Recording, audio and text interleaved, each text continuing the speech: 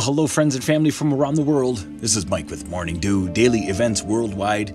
We are on October 13th, 2020. Welcome to another surviving day on this planet, and welcome to the Daily Dew, where we look at space weather for the last 24 hours, earthquakes, and world weather, disasters.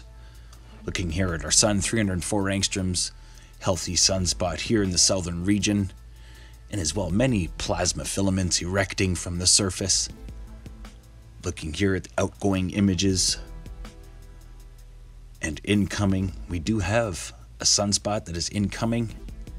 We'll have another look at 511 angstroms, little Earth to scale. We do have a growing and diminishing coronal hole, Earth facing equatorial. Not too much to talk about though. Observing here, the last few images pretty active sunspot that, that will be incoming. Looking here at our images, you can see the whole heliosphere.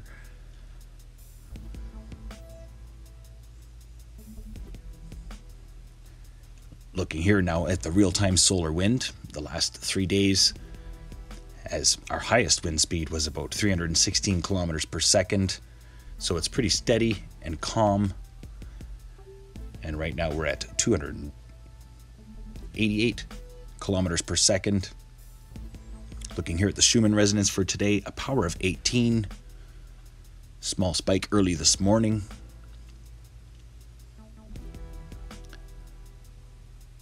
Amplitude of 18, a frequency 7.87. Now let's get to earthquakes here. Looking at USGS, as there's been many earthquakes across uh, California and into Los Angeles today, even at Nevada.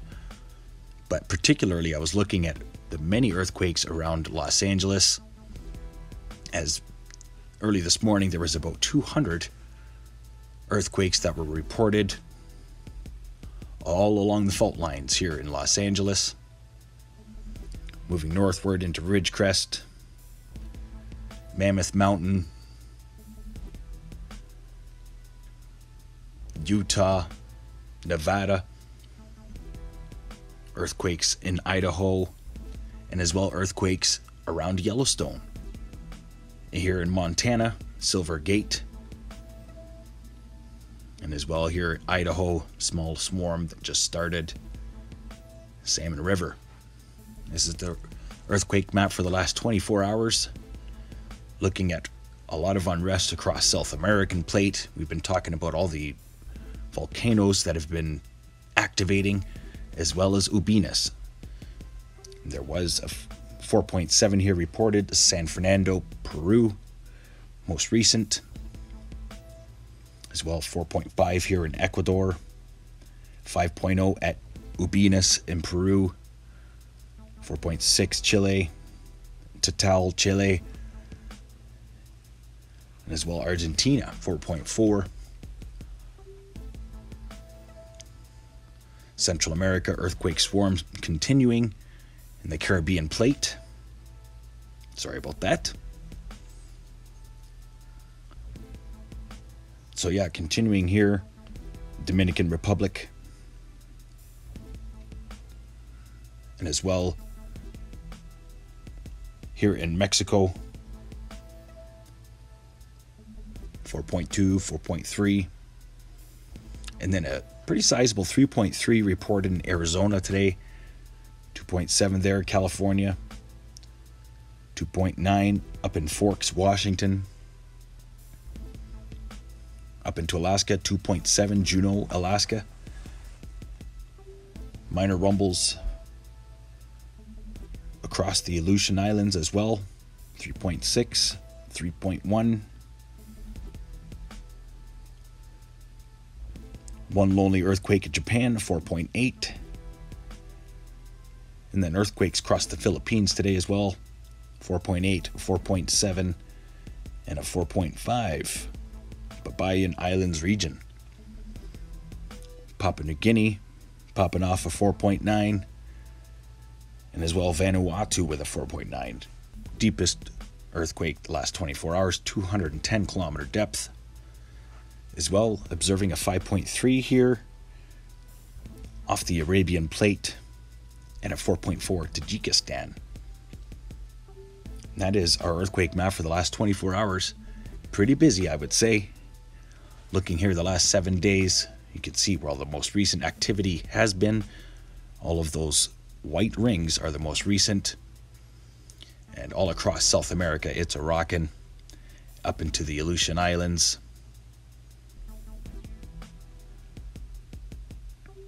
Deep earthquakes, Tonga region still, and now deep earthquakes all across South America as volcanoes are popping off and activating all along the rift. This is the last seven days for earthquakes, folks. Stay aware and prepared. Have a plan. Let's get to the Pacific Disaster Center here, looking at the most recent volcanoes being updated and as well satellite imagery of our weather. Sangay in Ecuador and as well Reventador in Ecuador. Sabancaya in Peru, looking at a landslide in Bali, Indonesia. Uh, Popo in Mexico, Swiss in Japan, Copahue in Chile and Argentina, Dukono in Indonesia. So that's about nine volcanoes being updated today. One new one with the Copahue. And if you want more information on the volcanoes from around the world, please check out this video in the link looking at 45 erupting volcanoes from around the world. Also looking here, tropical depression Norbert, who is heading up the west coast, San Francisco Bay Area. We'll have to see what that does in the coming days. The only other tropical storm that we're looking at is Tropical Storm Nangka, who is heading westward across Thailand and then into Pakistan and India. Or sorry, India, then Pakistan. But strong storms across India right now. Low pressure system moving in and has been all day long. Watching the five day forecast as a cyclone develops west coast of India. Observing large atmospheric river penetrating the west coastline and luckily it went at a lower latitude, putting out those fires across Washington state, down into Oregon. Large atmospheric river across the southern hemisphere as well. Just some really nasty low pressure systems, very strong, vigorous lows spinning across the southern hemisphere right now as it's about to flip flop into spring down there and winter up here. So yeah, some moisture moving into the Washington state. This five day forecast brought to you by MeteoEarth, Meteo Mike. Starting out here, looking at Calgary, Alberta. As yeah, we have a winter storm warning for tonight and the next day, and as well for the weekend coming up. Looking here, we'll probably get about five centimeters of snow tonight. But next weekend, we'll probably get about 10 to 20 centimeters. So get your shovels, get your boots, and be ready for a long, wet, cold winter. Watching that small Alberta clipper quickly move eastward into Quebec and then get wrapped around the low pressure system tucked into the Hudson Bay. That is an early polar vortex bringing quite a winter storm to parts of Nunavut and the Yukon. But yes, big system moving up the east coast as well going to affect Montreal and about three of the Atlantic provinces New Brunswick, PEI, Nova Scotia, and then into Quebec. It's going to be a very vigorous system. Mostly the United States staying dry this week, high pressure ridge moving in. But then in the long range forecast, watch for that color or Alberta clipper to quickly move southeastward that'll bring the cooler temperatures and maybe some rain. Overlooking Central America, not too much to talk about. No areas of interest right now for tropical storms across the Atlantic. South America, daily evaporation rains heavier towards Argentina, Buenos Aires here. Watching quite a system move through there. And as well, southern Argentina, Watching low after low hammer that coastline as well.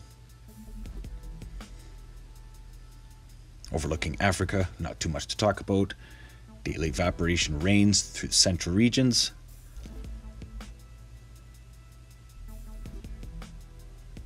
Overlooking Europe, watch for this system to move across Italy and into Greece and bring some pretty extreme weather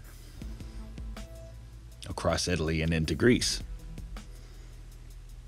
And it's going to quickly move eastward into Russia and join forces with a bunch of other low pressure systems.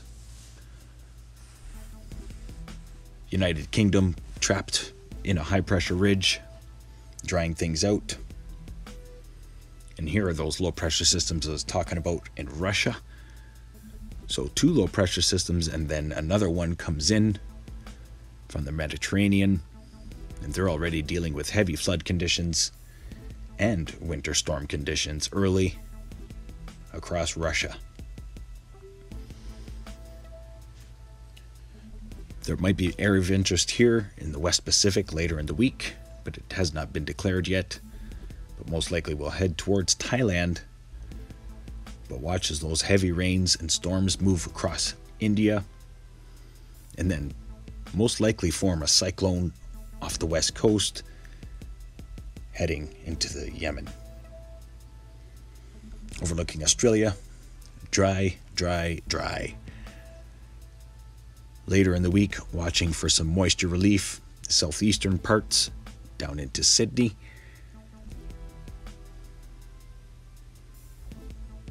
But still very dry across the continent.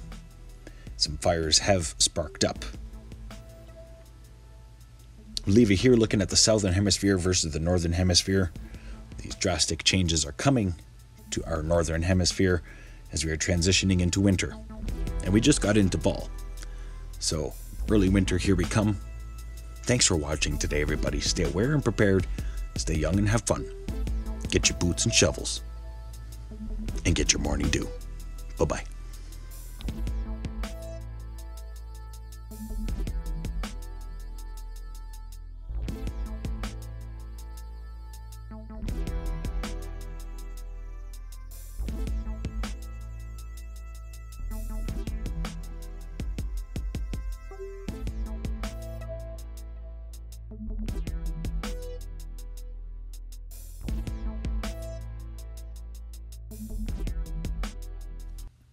Don't forget to check out dailyeventsworldwide.com, where you can get all the latest news and events and share your photos and videos.